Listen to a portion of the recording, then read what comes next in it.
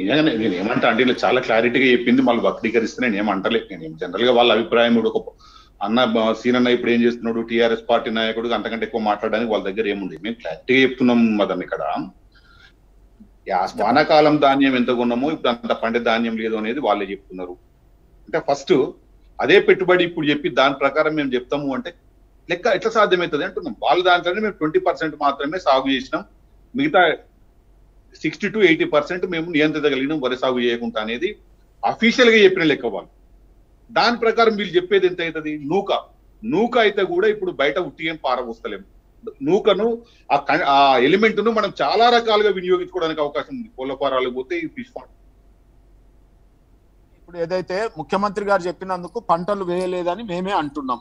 అంటే ఇప్పటి పంట గురించి మీరు మాట్లాడుతున్నారు. ఇంకా పంటకి మేము కళ్ళాలల్లో ఇయ్యాల కొనుగోలు కేంద్రాలు ఇయ్యాల ఓపెన్ చేస్తున్నాం మేము. ఇంకా అసలు పంట చేతికే రాలేదు అప్పుడే అవినీతి గురించి మాట్లాడతారేంటి? లేదు లేదు. సీరన్నా మీరు నేను చెప్పింది మీరు దాన్ని ఇంటర్ప్రిట్ చేయకండి. నేను చెప్పేది ఏం చెప్తున్నా వినండి అన్న. ఇప్పుడు ఏమంటున్నాము? వానాకాలం పంటలే మీరు పన్నెండు వేలు పన్నెండు వేల కోట్లతోని మీరు వానాకాలం పంటను మొత్తం కొన్నారు. ఇవి ఈసారి పన్నెండు వేల కోట్లు అయితాయా? ఇక వంద లెక్కలు అక్కర్లేదు ఇప్పుడు దీనికి. ఇంజనీరింగ్ అక్కర్లేదు లేకపోతే పెద్ద దీనికి సైన్స్ అక్కర్లేదు మేధావితనం కూడా అక్కర్లేదు. మనం మనం రాగా మీరు లా గ్రాడ్యుయేట్ నేను కూడా లా కంప్లీట్ చేస్తున్న గ్రాడ్యుయేట్. జనరల్గా మనకి ఏ లెక్క అక్కర్లేకుండా చెప్తున్నాను పన్నెండు వేల కోట్లు మనం వంద కోటి ఎకరాల్లో పండిస్తే పన్నెండు వేల కోట్లు పెట్టి ఖర్చు చేస్తుంది ఈసారి అంత అవుతుందా? ఫస్ట్ క్వశ్చన్ రెండోది అప్పుడేమో అరవై అంటే అరవై ఏడు కిలోలు అవుతానని ఇస్తారు. ఇలా అరవై ఏడు కిలోలు రాకపోతే మనకి యాభై ఐదు అరవై రావచ్చు పది పదిహేను కిలోల డిఫరెన్స్ వస్తుంది. ఆ పది పదిహేను కిలోల డిఫరెన్స్ ఎక్కడ పోతుంది? ఒడ్లు పట్టించినప్పుడు బియ్యం వస్తుంది నూక వస్తుంది తౌడు వస్తుంది ఉనుకు వస్తుంది. కాకపోతే నూకల పర్సెంటేజ్ ఎక్కువ వస్తుంది. నూకల పర్సెంటేజ్ ఎక్కువ వస్తే ఆ నూకలను తీసుకుపోయి నువ్వు పెంటకుప్పు మీద వస్తలేం కదా మనం? వృధాగా పోవు కదా? కొద్దిగా తక్కువ వస్తుంది. ఆ లెక్క ప్రకారం వెయ్యి కోట్లు అనేది హార్డ్లీ నష్టం. సీనన్నా? నేను క్లియర్గా మీరు పని చెప్పాల్సింది. చేద్దాం అయోధ్య అన్న. కాకుండానే మీరు మూడు వేల ఐదు వందల. మీరు ఎట్లా చెప్పగలిగింది. రాలేదు, అంటే మీకే అన్న. అన్న ఒక్క నిమిషం తిననా ఇప్పుడు మన వంద విషయాలు అక్కర్లేదు. మూడు వేల ఐదు వందల కోట్లు పంట రాలేదు చేతికి రాలేదు ఇంకా కోవాల్సి ఉంది చేయాల్సి ఉంది పని ఉంది కరెక్ట్. కానీ మూడు వేల ఐదు వందల కోట్లు నష్టం వస్తుందని మీరు ఎట్లా చెప్పిండ్రు అంటే మీరు ఎట్లా ప్రిపేర్ చేస్తారు? అది చెప్పండి మీరు. దానికి ఎట్లా ఏ అంచనా? ఉంటది కదా. మేము మీకు అంచనా. ఉంటది, మాకు? అంచనా ఉంటది. మీకు అంచనా చెప్తున్నాం. మీరు వానాకాలంలో పన్నెండు వేల కోట్లు పెట్టి కొన్నోళ్ళకి ఒక అంచనా ఉంటది. వాన కోట్ల మననే మీరు ఇరవై శాతం నుంచి నలభై శాతానికి తగ్గించినము. అరవై శాతం నుంచి ఎనభై శాతం మేము కంట్రోల్ చేయగలిగినము అని చెప్పినప్పుడు మీరు పెట్టుబడి పెట్టేది ఎక్కడ ఎట్లా మూడు వేల ఐదు వందల కోట్లు ఏ లెక్క ప్రకారం చెప్తారు? మీరు చెప్పింది చెప్పండి. అంటే మీకు ఆలోచన వేరు మీరు నిజంగానే అవినీతి చేయాలని లేదు గొప్పోళ్ళే చేస్తుంది ఒక క్వశ్చన్ ఎట్లా మీరు ఎట్లా చెప్పగలరు చెప్పండి? నేను ఏమంటున్నా అంటే అయోధ్య గారు ఒక్కటి గమనించండి ఇక్కడ. ప్రభుత్వం అన్నాక మా దగ్గర ఎంత పంటలు ఎంత భూమిలో వేశారో అగ్రికల్చరల్ డిపార్ట్మెంట్ వీళ్ళందరూ ఉంటారు ఎన్ని ఎకరాల సాగు అయింది ఎంత పంట రాబోతుందనే అంచనా ప్రభుత్వం దగ్గర తప్పకుండా ఖచ్చితంగా ఉంటుంది ప్రతిపక్షాల దగ్గర ఉండదు మీరు కొంత. కరెక్ట్ లెక్కలు వస్తాయి రెండోది రెండోది రెండోది నేను సీనా ఇక్కడ ఒక్క ఒక్క నిమిషం మీ ప్రతిపక్షం. దగ్గర ఉండయి. అనడం కూడా సరైనది కాదు జనరల్గా ఏమైంది అని అంటే ఒక ప్రజాస్వామ్యానికి అధికార పక్షం ఎంత ముఖ్యమో ప్రతిపక్షం అంతే ముఖ్యం ఆ బాధ్యతాయుతమైన ప్రతిపక్షంగా ఏ ఊళ్ళో ఎన్ని ఎకరాలు పెట్టిండ్రు ఎంత షోయింగ్స్ ఉన్నాయి అనేది ఎప్పటికప్పుడు మీకు అప్డేట్ తీసుకుంటున్నాం. దాంట్లో మాకు ఏ అనుమానం లేదు. ఖచ్చితంగా మా దగ్గర కూడా ఉన్నాయి. మా దగ్గర కూడా వివరాలు ఉన్నాయి. ఆ వివరాల ప్రకారమే మేము లెక్క ఏమి చెప్పినాం. పదివేల కోట్లు మీరు ఒడ్లు కొనలేకపోతే పదివేల కోట్లు బ్యాంక్ గ్యారంటీ ఇప్పించండి. రైతులకు చివరి గింజ దాకా ఉంటాము అన్నాం. కేవలం వెయ్యి కోట్ల నష్టంతో మేము కంప్లీట్ చేస్తామని చెప్పినాం.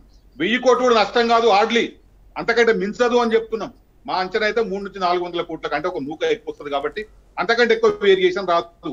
మన ధనిక రాష్ట్రం సంపన్న రాష్ట్రం ఒక రైతుల కోసం ఒక వెయ్యి కోట్లు ఖర్చు పెట్టలేమా అనేది మాత్రమే మనం చెప్పగలిగినాం. ఒకటి.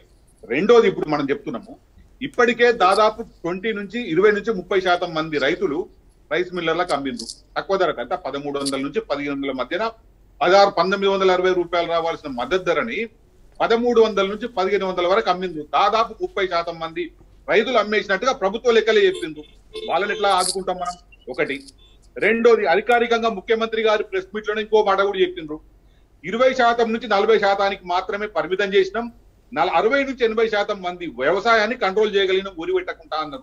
మరి ఒరి పెట్టకుండా నష్టపోయి మీ మాటలు నమ్మి. మరి వాళ్ళు పడవ పెట్టారు కదా భూములు. వాళ్ళకి ఏమైనా చేయాలి కదా మనం? బాధ్యతాయుతమైన ప్రభుత్వం కదా మనది. ఇప్పుడు వీళ్ళకు ఒరి ఒడ్డు పండించిన రైతుకు పది పదిహేను వేల రూపాయలు ఎకరానికి ఆదాయం వస్తుంది. మరి వాళ్ళని కాంపెన్సేట్ చేయాలి కదా. దాని మీద ఎందుకు ప్రకటన చేయరు? అంటే నేను మూడు మూడు అంశాలు వేరువేరుగా మాట్లాడుతున్నా. అంటే బాధ్యతాయుతమైన ప్రభుత్వం మనది ఒకటి రెండోది గతంలో ఇది ఒక మాట నేను ఆబ్జెక్ట్ చేయదలుచుకున్నా. ఖచ్చితంగా కేసీఆర్ ప్రభుత్వం నిజాయితీగా నిజాయితీగా ఉండాలని మనం కోరుకుంటాం. కానీ అట్లా లేదన్నందుకే బాధపడుతున్నాం. మనం మొన్ననే చూసినాం. రజత్ కుమార్ గారికి ఆయన బిడ్డ పెళ్ళికి గోల్కొండ హోటల్ తాజ్ హోటళ్ళలో ఎంత ఖర్చు పెట్టిందో ఆధారాలతో సహా మనం జర్నల్లో బయటకు వచ్చినాయి. దాని మీద DOPT director of personnel training department అంటే కలెక్టర్ ఐఏఎస్లకు నియంత్రించగలిగిన సంస్థ మొన్ననే సిఎస్ సోమేష్ కుమార్ లెటర్ రాసిందని కూడా చూసినాం. దాని మీద ఎందుకు యాక్షన్ తీసుకోలే? మనం ఓపెన్గా విలేకరులు అడిగితే కూడా అట్లాంటి మేము బుడబుడే పట్టించుకోమన్నారు తప్పితే ఖచ్చితంగా అన్యాయం జరిగితే నేను చర్యలు తీసుకుంటాము అని ఆ అన్యాయాల మీద చర్యలు తీసుకుంటామని ఎందుకు పెట్టలే? అది మన కళ్ళ ముందు నిన్న మొన్న జరిగిన సంఘటన తినండి అది. అంటే మనం మాట్లాడడానికి ఒక బేస్ అంటే ఒక పద్ధతులు లేకపోతే వ్యవహారం లేకపోతే ఆచరణ ఏదైనా ఉండాలి కదా. అంటే మాటకు ఆచరణకు తేడా లేకపోతే ఇంత డిఫరెన్స్ వస్తుందో చూడండి.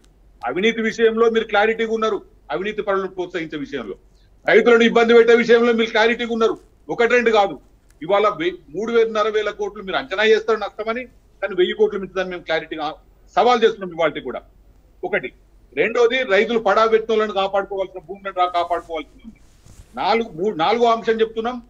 ఈ ఇదివరకే ఇప్పటికే మిల్లులకు అమ్మిన రైతుల నుంచి ధాన్యం సేకరించుకున్నారు మిల్లర్లు వాళ్ళని వాళ్ళ చేతుల బ- బలైపోయిన రైతులను ఎట్లా కాపాడుకుంటాం. ఈ అంశాల మీద క్లారిటీ ఇవ్వకుండా ఇంకా మా రైతు పక్షపాతం చెప్తే రైతులు ఎట్లా నమ్ముతారన్నా? ప్రజలు ఎట్లా నమ్ముతారో చెప్పన్నా?